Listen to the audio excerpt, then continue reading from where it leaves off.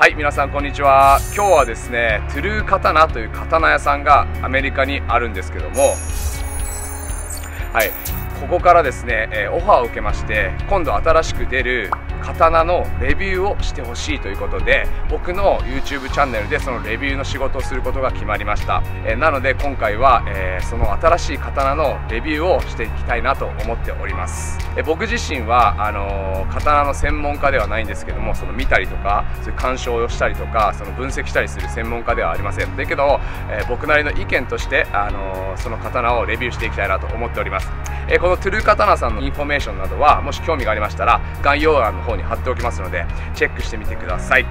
はいそれでは行ってみましょう。それでは早速刀を見てみましょう。こちらです。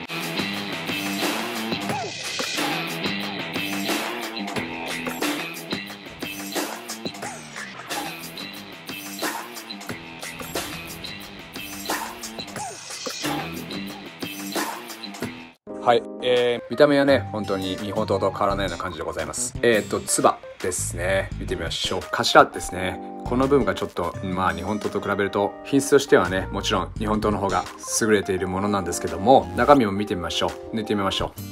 はい。抜いてみます。はい。こちらでございます。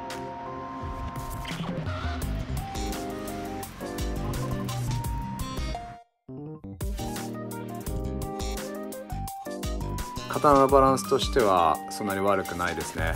重さもバランスもあ悪くない。日本の際比べるとちょっと重いかもしれない。まあでもそういうのはねあ気にならない人は、まあ、大丈夫だと思います。まあ刺しちゃうんでね最後は。刺してやるんでまあ重さはそこは気にならないかなそれでは最後振ってみましょうか。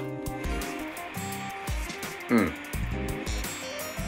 バランスは悪くないですね。刀の重さも悪くないです。それでは振ってみましょう。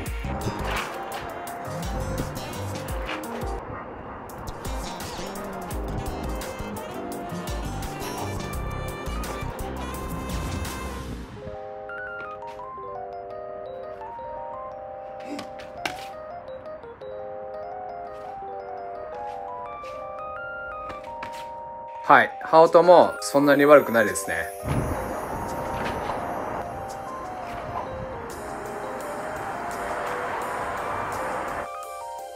うん。えー、まあだんだん振って自分もこの方に慣れてきたんですけどあまあ悪くないです本当に振りやすいですね、まあ、ただ僕が持ってる日本刀はもうちょっとこの使う部分が、あのー、細いんですよね。だからまあちょっとしっくりくるんですよ。僕の手には、まあ、ちょっとここは太いかなっていう気はするけどまあでもそれはまあ人の手の大きさによるし、まあ、僕の身長もあるし、まあ、人それぞれ、まあ、自分の合った刀を選ぶのはベストなんですけど、まあ、でも比較的いろんな人がまあ使いやすいというか大きさなのかなと思います、まあ、僕にとってはちょっと大きいかなっていう感じでまだ人によるので、まあ、一概には言えない。でもあのー、悪くないですね。まあ本当にあのー、振りやすいですね。はい。それでは次は納刀をやってみたいと思います。はい。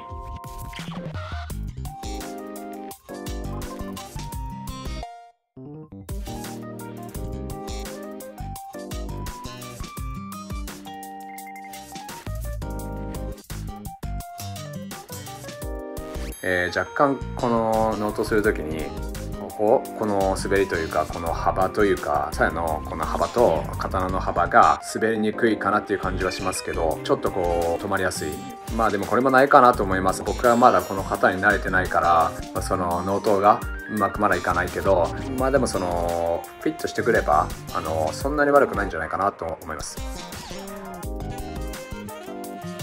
正しい形で刀の向きと鞘の動きそれをしっかりすれば、まあ、しっくりスッと入るかなと思います。じゃあそれでは次は、えー、ややってみましょう。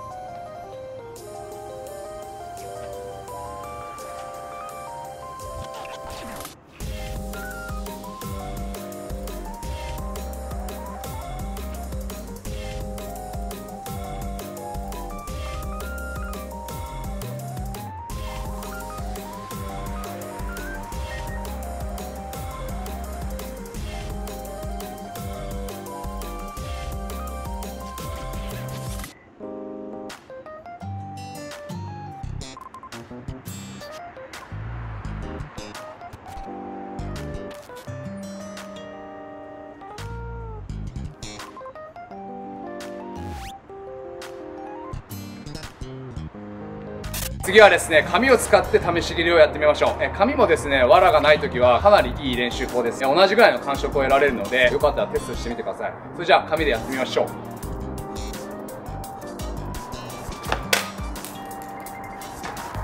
はい、えー、こんな感じです。綺麗に切れてますね。切れ味としてもそんなに悪くない。もう一回やってみましょう。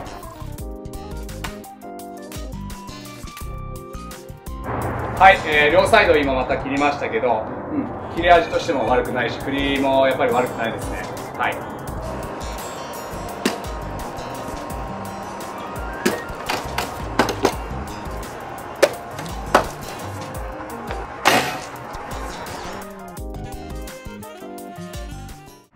皆さんいかがでしたでしょうか、えー、それでは最後刀のね総評していきたいなと思います。何点か気になった点はありました。なんですけど僕自身が刀に慣れていった時に使いやすいなっていうのが僕の意見です。刀振った時のバランス、えー、重さそして切れ味。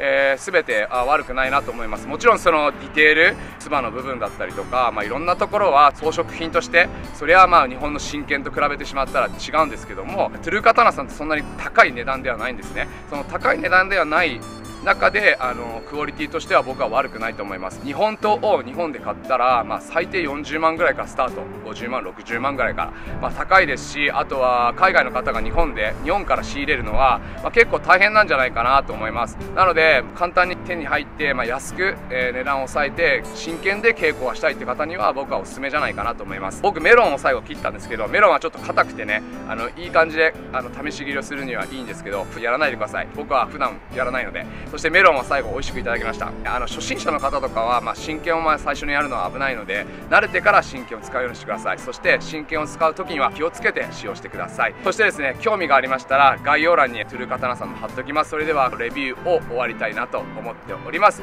えー、今日は本当にありがとうございました。皆さんまたお会いしましょう。お疲れ様でした。